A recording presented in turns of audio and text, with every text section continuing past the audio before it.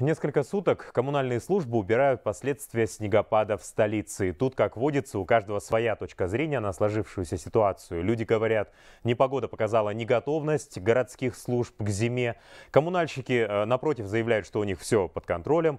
И наш корреспондент Марк Брюшко решил не слушать мнения окружающих. Он вышел на улицу, чтобы прогуляться по городу и воочию увидеть, как все-таки ведется уборка снега.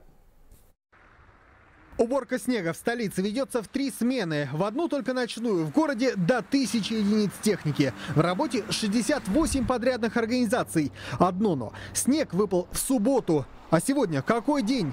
В самом начале, первый день, когда было, э, на обочине просто снег лежал в краю. Целую полосу занимал. Мы ездили на маршруте номер 8, поворачивали с Мустафина на Аблайхана, и автобус очень сильно занесло. Я не видела, чтобы снег чистили. Еще пока. Ну не очень, слабовато. Что там окраины? Даже в самом центре левобережья снега до сих пор очень много. В чем же, собственно, проблема? Есть ведь и техника, и человеческие ресурсы. Взять один только район Сараарка. Казалось бы, в уборке задействовано 19 подрядных организаций, свыше 350 единиц спецтехники и больше 600 дорожных рабочих. А результат уборки видите сами. Заместитель Акима столицы назвал в качестве одной из причин такой долгой уборки устаревшую технику, которая ломается прямо во время работы. Но если машины выходят из строя уже после первого снегопада, то можно ли считать подготовку к зиме провальной? Техника имеет свойство устаревать. На сегодняшний день лаповые погрузчики, автогрейдера, которые выходят из строя во время работы. В связи с этим Акимом города было поручено закуп специальной единиц техники, это 120 единиц а, на эту зиму. А, уже первая партия а, зимней спецтехники прибывает до конца ноября месяца, край 5 декабря. Это 67 единиц техники. К тому же в столице за один день выпала двухнедельная норма осадков – целых 14 сантиметров. Но аномалии для всегда холодной столицы это тоже назвать сложно. Давайте на чистоту. Я, конечно, все понимаю. Можно действительно не успеть убирать снег, допустим, если он идет беспрерывно или, скажем, через сутки. Но здесь же, с момента снегопада, прошло уже несколько дней. А, в столице солнце, погода ясная. Ничего не мешает а, взять и вывести снег.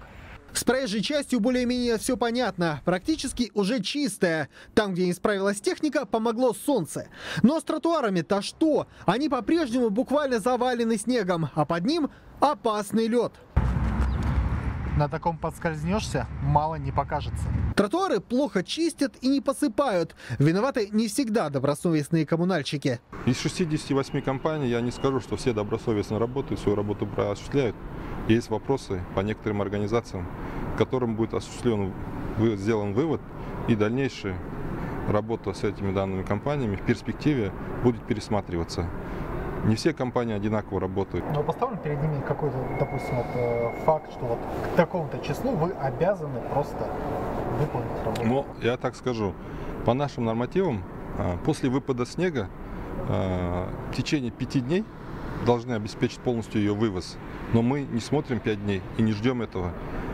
Уборка улиц осуществляется сиюминутно. Выпадает снег, сразу осуществляем проезд для того, чтобы транспортный поток проехался. Сразу в течение трех максимальных дней осуществляем вывоз снега.